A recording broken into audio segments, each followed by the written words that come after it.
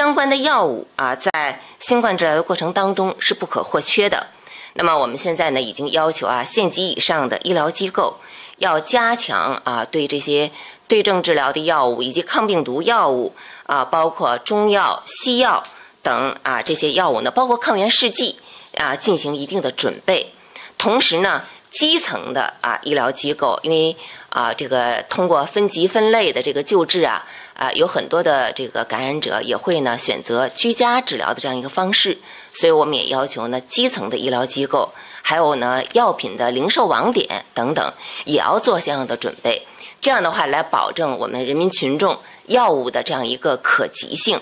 那么，我们也会通过呢多种方式啊，让大家知道如何使用这些药物，以及如何使用抗原试剂，来保证用药的安全。